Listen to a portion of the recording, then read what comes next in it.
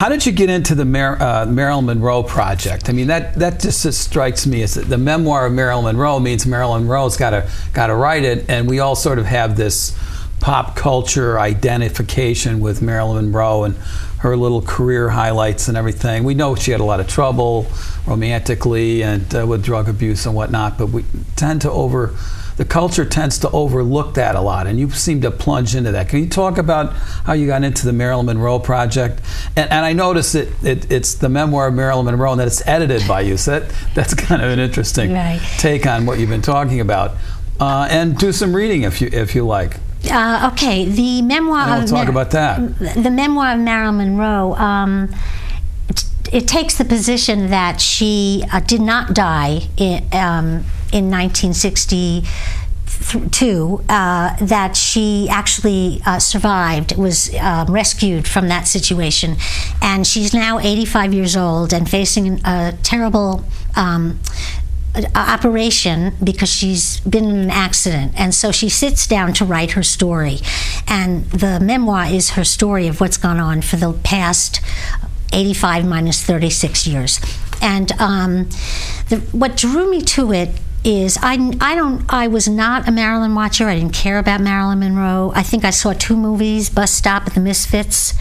Um, but I listened on my in my car to Donald Spoto's um, biography of Marilyn Monroe, and I was, I just I was fixated on her. Um, fears, her abandonment fears, her um frailties. I just totally related to her as a woman. I didn't care about the um, the star part of her. I wasn't interested in it. And as I, and I, I, I would have to say, it almost came in a like flash that she was going to be at that time. It was probably like a few years before her 80th birthday. Uh huh. And I decided I would write this book that would be based on her 80th birthday. And it, so much time went by that it became her 80, 85th birthday. But I just flashed on what would happen if she didn't die, you know. and what um, if. and um, the um, and that's how it happened. And I read a lot. I read a lot about Marilyn Monroe, and I have weaved into the book um, a lot of truth and a lot of speculative truth, especially concerning the conspiracy about the Kennedys and um, and other things. Um, I'll read a little bit of it. Yeah, do that, please. Thank that would be great. This is the very beginning of the book.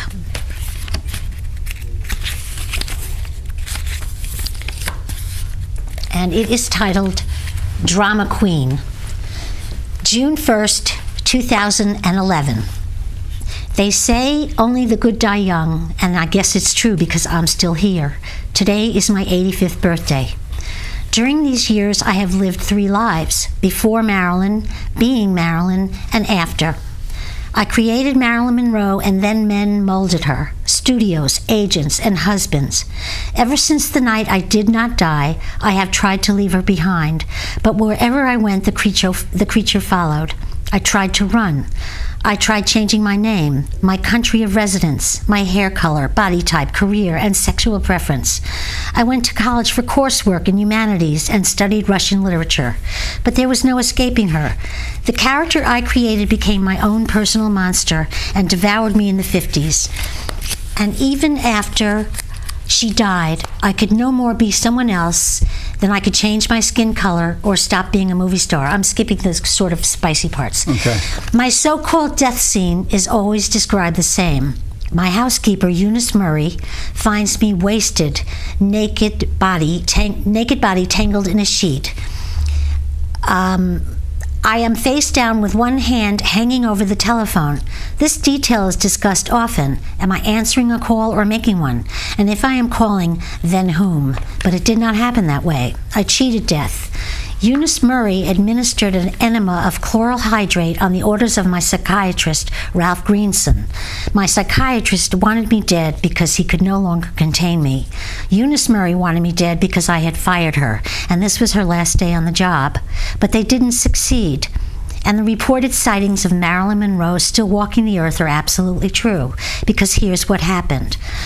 On the night of August 4th, 1962, young Joey DiMaggio III, that is the Yankee Clipper's son, on leave from Camp Pendleton, where he served in the Marines, arrived on the doorstep of Palm Drive, my home in Brentwood, at 8 p.m. No sound announced his arrival. Nothing in my world stirred. He was tall like his father, but with a fuller face, so his nose was not quite so prominent. Probably the lamp over the doorbell cast a diligent spotlight over his jaw, creating a moody study in, excuse me, light and shadow. The kind of shot you might see in a noir film from the 40s. Joey was kinder than his father. He had a heart bigger than the new Yankee Stadium, and he used to fill it with people, not always the kindest kind. DiMaggio, the father, might have been the last American knight, but it was his son who saved my life he had broken his engagement and wanted to talk, to talk. Joey and I were very close from the time he was 10 when Clipper at Joe and I started courting the first time.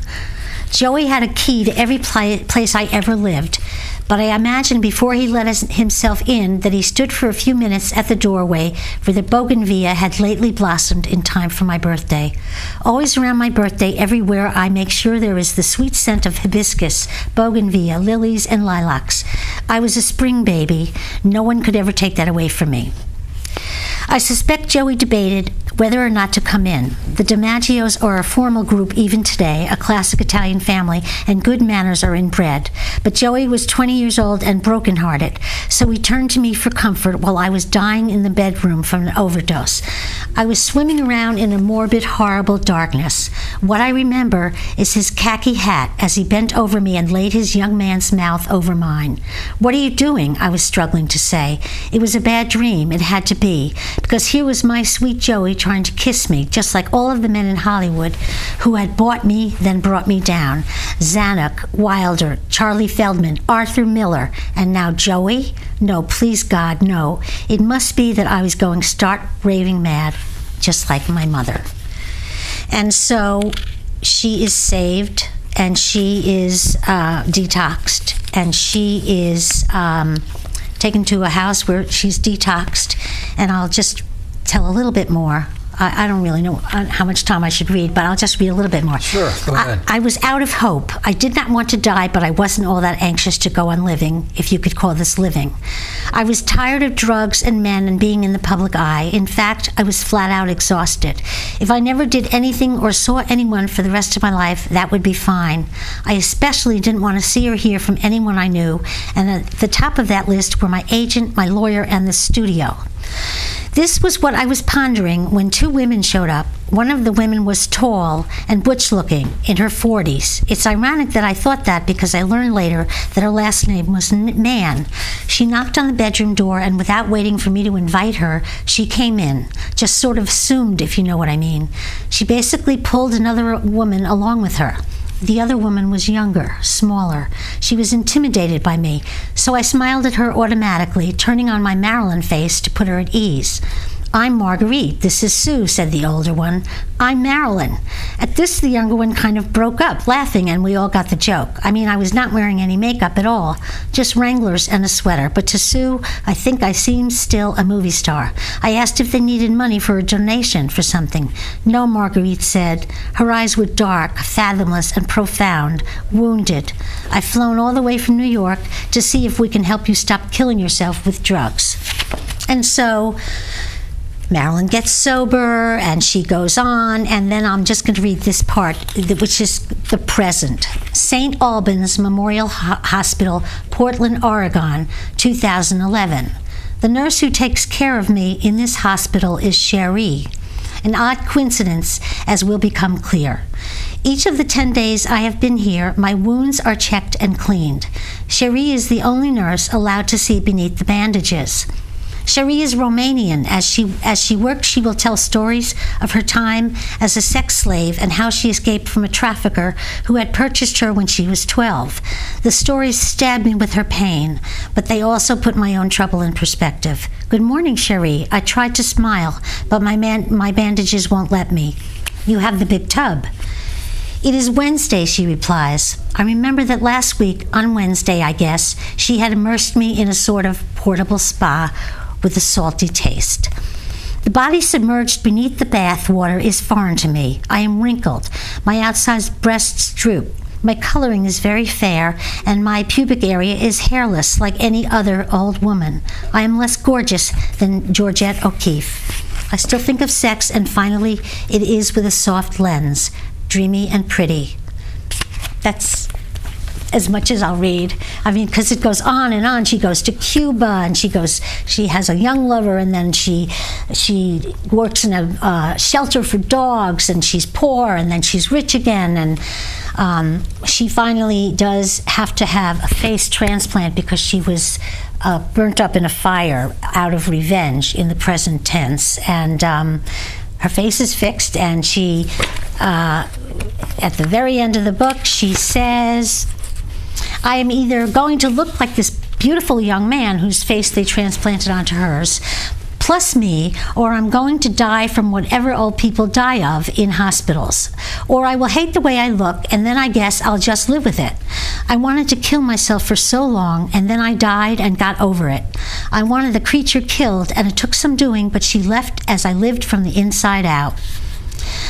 I, um, Jules, who was her husband, would have loved to see this metamorphosis. He was a pragmatist, and the science of a face transplant would have been much more interesting than whether I looked like Frankenstein or Marilyn.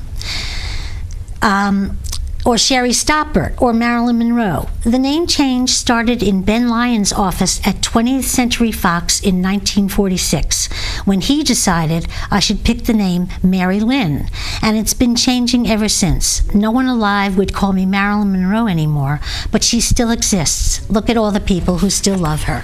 Wow. So you actually had to become Marilyn Monroe in there, didn't Absolutely. I felt like Marilyn Monroe. Yeah. Did, how long did it take you to get into that feeling? I mean, did you pick that up from the beginning?